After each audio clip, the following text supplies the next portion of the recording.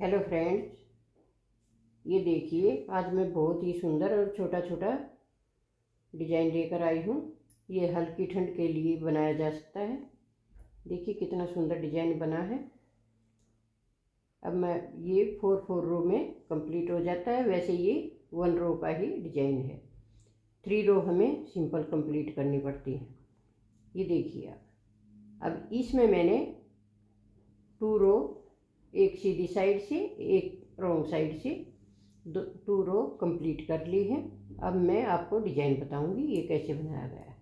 ये देखिए। एक फंदा हम स्लिप करेंगे। धागा पीछे रखेंगे और इस प्रकार से धागा पीछे रखते हुए ये देखिए, टू फंदों का वन करेंगे। धागा पीछे रखें और आगे की तरफ़ बुने। तो अपने आप जाली भी बन जाएगी और फंदा भी कम हो जाएगा। फिर से धागा पीछे करें और इस प्रकार से फंदा बुने। ये देखिए धागा पीछे किया और दो फंदों का एक साथ बुना। ऐसे। धागा पीछे रखें और फिर से इस प्रकार बुन दें। फिर धागा पीछे किया और ये इस प्रकार से बुना। ये धागा पीछे रखें और इस प्रकार से आप बुन पूरी रो हमें इसी प्रकार से कंप्लीट करनी है। धागा पीछे आगे की तरफ़ बुनना है, धागा पीछे रखना है और आगे की तरफ़ बुनना है, ऐसे। ये देखिए।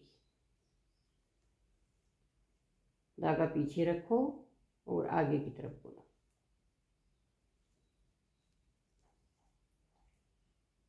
इसी से ये डिज़ाइन बनकर तैयार हो जाएगा। ये टू टू फंदों का मल्टीप्लाई किया गया है। आप टू फंदे का मल्टीप्लाई करके फंदे डाल लें। ये देखिए। ये हमारी डिज़ाइन की वन रो है। इसी से हमारा डिज़ाइन बन जाता है। अब हम रोंग साइड से बुनेंगे। तो ये पूरी रो उल्टा उल्टा इस प्रकार से कंप्लीट करेंगे। जो ये धागा है, इसको यहाँ से बुन लेंगे। इसको उतारेंगे नहीं। इसको पूरा इसी प्रकार से बुन ये देखिए।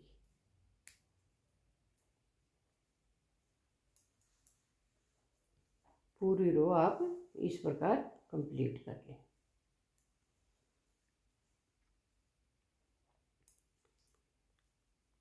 ये रॉन्ग साइड पूरी रो इसी तरह से कंप्लीट करनी है।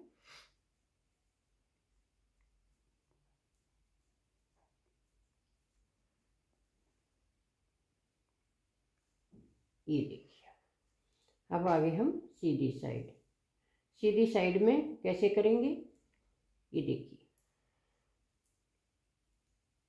एकदम सिंपल तरीके से बनाएँगे। सीधा सीधा।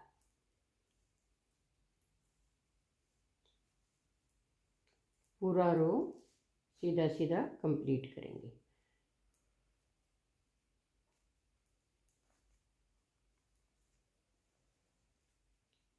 डिज़ाइन शुरू करने से पहले हम टू रो सिंपल डालते हैं तो वही रो हम सिंपल डाल रहे हैं।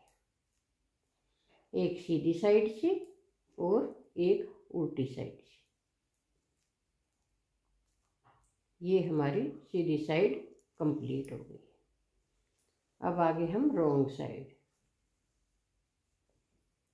रोंग साइड भी पूरी रो उल्टा उल्टा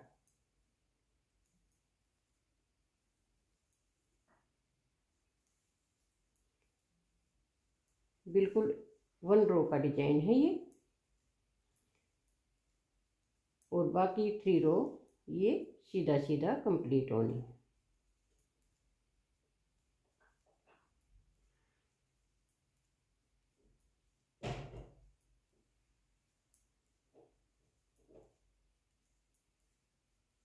ये देखिए। बहुत ईजी है और बनने के बाद बहुत सुंदर लगता है। हल्की ठंड के लिए आप इसका प्रयोग कर सकते हैं। अब देखिए, आगे कैसे करना है? पहले हमने फ़र्स्ट पंदा स्लीप करके यहाँ पर जाली डाली थी, लेकिन अब हम टू फंदे बुनेंगे। ये फंदा स्लिप किया, ये फंदा बुन लीजिए। बुनने के बाद फिर धागे को पीछे रख के फिर से ऐसे ही कीजिए। ये से, धागा पीछे, टू का वन। धागा पीछे, टू का वन। धागा पीछे, ये टू फंदे लीजिए और आगे की तरफ़ बुनिए, सीधे, ऐसे। धागा पीछे रखें। यहाँ पर बस आपको जैसे फ़र्स्ट रो बनाई हमने तो एक फंदा स्लिप किया था। अब फोर्थ रो बनाएँगे तो टू फंदे स्लिप करने हैं। और आगे उसी प्रकार से ये डिज़ाइन हमारा चलता रहेगा। ये देखिए तो पीछे धागा करें और आगे की तरफ़ बुने। पीछे धागा करें और टू फंदे एक साथ लेकर आगे की तरफ़ बुने। ऐसे। इस प्रकार से हमारा डिज़ाइन बनता रहेगा। बहुत ईजी है। बिगनर्स भी इसे बुन सकते हैं और हम भी बुन सकते हैं। ये देखिए। अब पीछे धागा करके यहाँ टू फंदे सीधे बुन लें। ये देखिए। आगे फिर से इसी प्रकार थ्री रो सिंपल कंप्लीट होंगी और ये बार बार आपको रिपीट करनी है।